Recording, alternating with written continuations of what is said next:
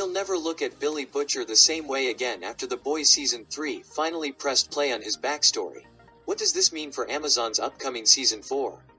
Karl Urban's Billy Butcher crashed into The Boys as a tour de force of violence, tea, and colorful language, but Season 2 steadily began peeling back that rough exterior.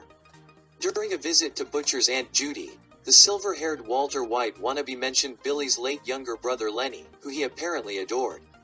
The boys' leader went on to blame his father, played by John Noble, for Lenny's death, but the boys stopped short of revealing exactly what went down between brothers. Thanks to Mindstorm's mental superpowers, The Boys Season 3 vividly tells Billy Butcher's long awaited origin story. Predictably, it's deeply upsetting.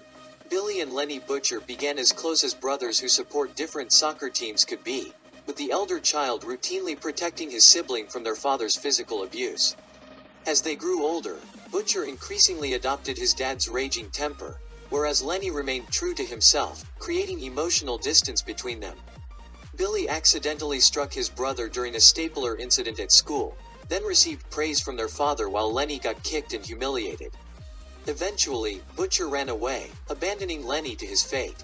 Unable to endure the abuse without his brother around, Lenny took his own life as a teenager.